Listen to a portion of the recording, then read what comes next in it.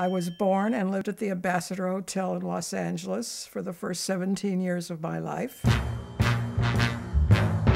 Only the hotel is no longer there, but I'm still here. The minute you walked in the joint, I could see you were a man of distinction, a real big spender. It was simply breathtaking. So refined.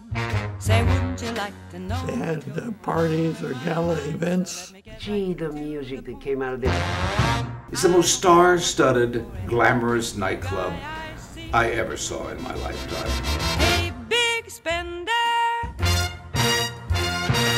Everybody came to the Coconut Grove. time with me. There were a few sites in Los Angeles that had as catalytic an effect on the development of a community that the Ambassador Hotel did. Fun, fun, fun. All I remember at that point was a lot of television lights, uh, wet floor, and I started shaking violently. I didn't know I'd been shot. Well, it was a very important hotel to the community. But of course, uh, to maintain importance, you must maintain the whole structure.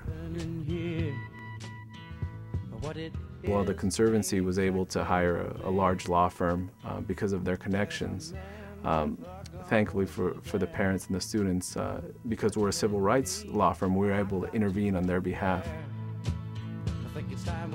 So it, it took a while for the Los Angeles School District to actually get a hold of that property, and in a sense, they, they saved that area from becoming uh, the monstrosity that, that Donald Trump planned. The uh, state court judge uh, held in the students' favor and said that the schools should be built and, and be built immediately.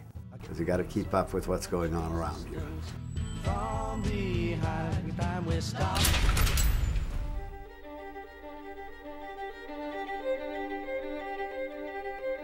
And I will fight as hard as I possibly can for all those other ambassadors out there waiting for the axe to fall in silent dread.